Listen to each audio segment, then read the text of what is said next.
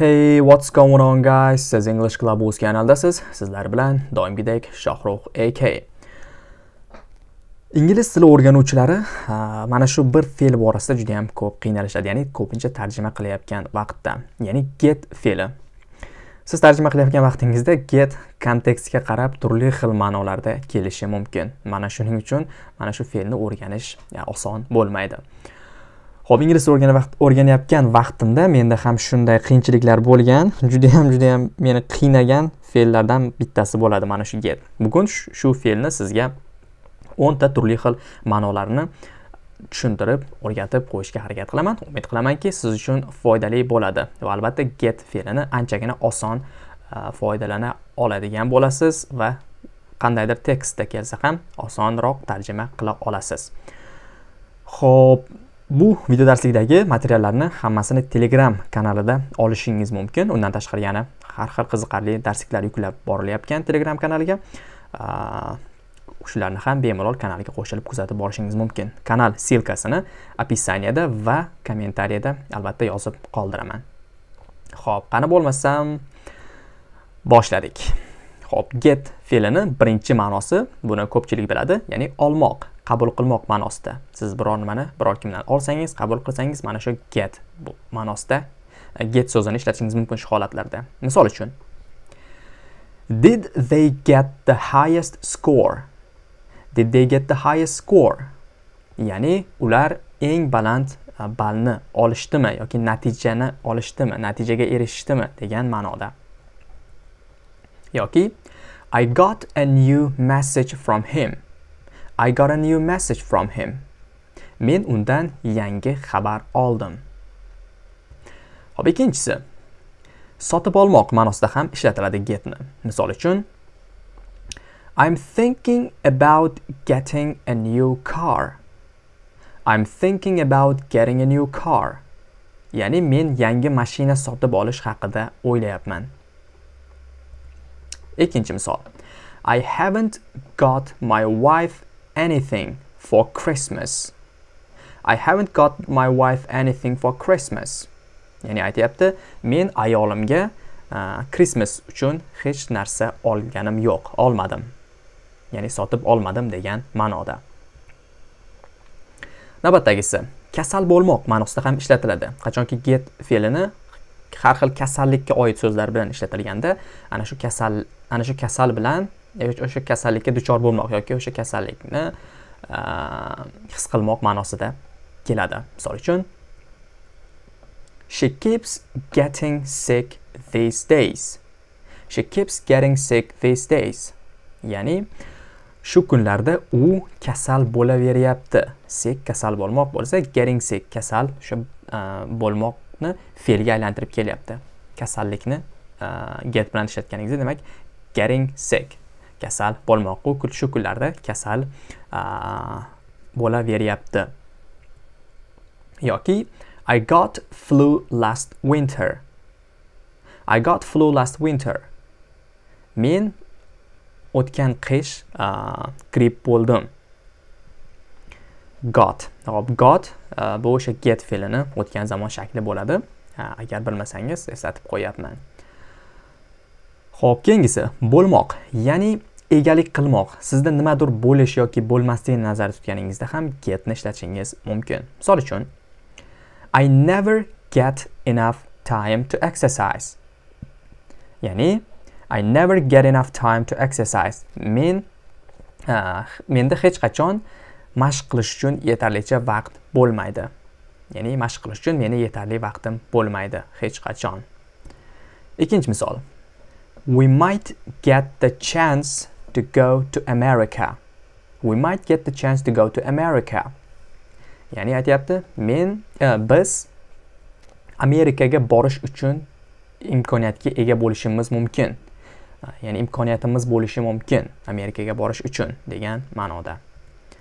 Navbatdagisi bo'lmoq.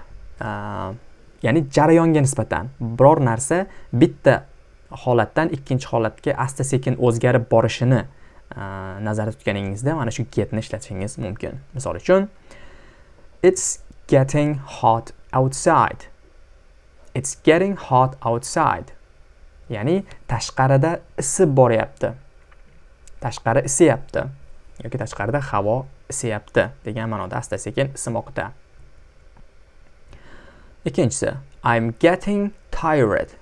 I'm getting tired. Men charchayapman. Ya'ni asta sekin charchab boryapman. Navbatdagi ma'nosi tushunmoq yoki eshitmoq. Siz qachonki biror nimani tushungan yoki tushunmaganingizni nazarda tutganingizda yoki nimanidir eshitmay qolganingizda kimdir gapirganini shunda ham getni ishlatishingiz mumkin. Misol uchun tushunmoq ma'nosida birinchi i don't get what you mean. Could you explain that again? I don't get what you mean. Could you explain that again? Ya'ni aytyapti men nima deganingni nimani nazarda tutganingni tushunmadim. Yana tushuntirib bera olasanmi? deb so'rayapti. Eshitmoq ma'nosida misol uchun i didn't get that. Could you speak up? I didn't get that. Could you speak up? ya'ni aytyapti men uni eshitmadim. Bu yerda ham tushunmadim. Deb aytishingiz mumkin. Bu holatda siz eshitmay qoldingiz. Nimaga deganini qandaydir shovqin yoki e, sekinroq gapirdi. Keyin gap davom etyapti. Could you speak up? Speak up degani balandroq gapirmoq. Ya'ni balandroq gapira olasanmi deyapti tushunmadim balandroq gapira olasanmi yoki eshitmadim balandroq gapira olasanmi degan ma'noda. Navbatdagisi harakatlanish e, harakatlanmoq. Ya'ni qanaqa ma'noda harakatlanmoq? Kontekstga qarab ah, juda yam ko'p holatlarda getni ishlatiladi. Qachonki biror ah, holatdan biror holatga harakatlanish bitta nuqtadan boshqa nuqtaga harakatlanish yoki biror narsani harakatlantirish ya'ni tanangizdagi qo'lingiz oyog'ingiz shu narsalarni harakatlantirishga kelganda mana shu getni ishlatilishi mumkin. Misol uchun let's get outside. It's beautiful out there. Let's get outside. It's beautiful outside out there. Ya'ni aytyapti uh, ketdik tashqariga chiqamiz. U yerda ya'ni tashqarida u yoqda judayam chiroyli. Bu yerda get outside ya'ni hozirgi turgan nuqtadan tashqariga harakatlanish nazarda tutyapti. Chiqmoq uh, xuddi bormoq yoki kelmoqqa o'xshab. Yana bir misol. Get your hands out of your pockets. Get your hands out of your pockets. Demak bu yerda aytyapti qo'llaringni cho'ntagingdan chiqar yoki kissangdan chiqar deyapti qo'llaringni. Bu yerda o'sha qo'lni cho'ntak ichidan tashqariga harakatlanishini nazarda tutilyapti keyingi ma'nosi yetib kelmoq yoki yetib bormoq ma'nosida. Misol uchun when is he going to get here? When is he going to get here? U bu yerga qachon yetib keladi yoki qachon yetib kelmoqchi navbatdagisi hurry up We'll get there really late otherwise. Hurry up, we'll get there really late otherwise. Ya'ni uh, bo'la qol deyapti, tezlash, tezroq bo'l.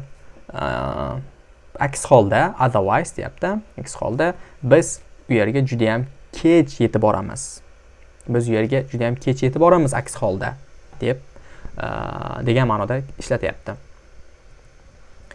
navbatdagisi olib kelmoq. Misol uchun go upstairs and get a chair. Go upstairs and get a chair.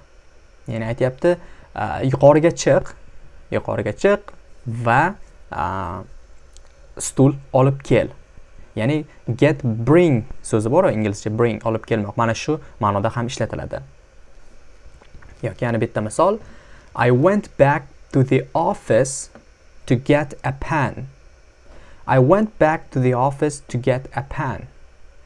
Men ofisga qaytib bordim. Nima uchun deyapti?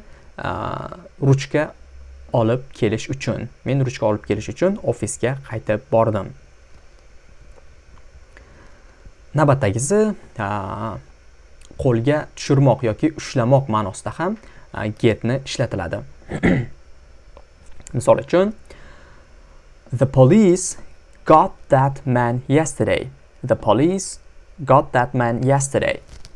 Ya'ni aytyapti, o'sha militsiya o'sha odamni kecha qo'lga tushirdi ya'ni ushladi degan ma'noda aytyapti navbatdagi misol i got him. I got him. He thought he could get away from us.